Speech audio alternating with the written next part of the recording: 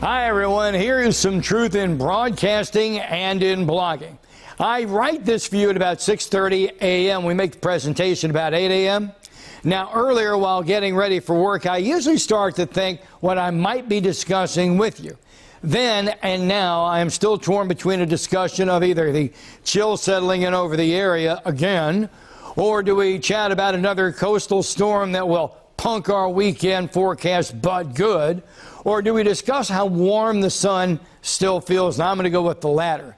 Yesterday was a warm one, but it was that sun all afternoon that really felt warm. You could feel it washing over you. I point this out because the days are shorter, the sun lower in the sky, and very shortly we'll go back to standard time. But just to stop, look up, and feel it. That is a fall gift from nature. You can believe it. Now, do not think that will get old. Enjoy this feeling while we have it today and tomorrow, even with temperatures in the 50s. Find that me time I always talk about, as tomorrow's theme right here will be about having an umbrella being your date for the weekend. I'm Marty Bass.